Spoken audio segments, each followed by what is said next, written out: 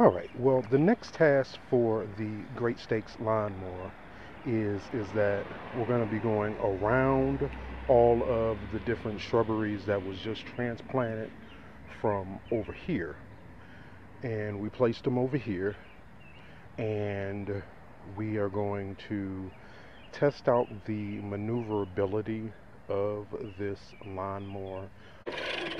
Now, of course you're going to have to make sure that you go back and forth when you're going around the plants.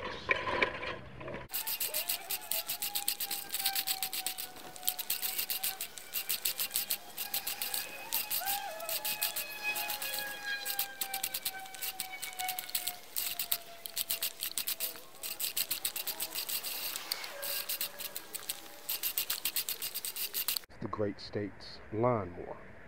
So the other thing that we're going to use is are the uh, Fiskars. Now these you can pick up from Home Depot. Um, it's just pretty much hedge shears.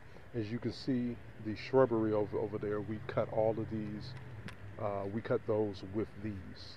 So we're going to edge up some of the um, uh, shrubbery that lines the walkway here. Then this is the way that the grass turned out with the Great States. This is the way that it used to look. Just a different grade of grass as opposed to what's out out there. This is the way that it used to look and this is the way that it looks now.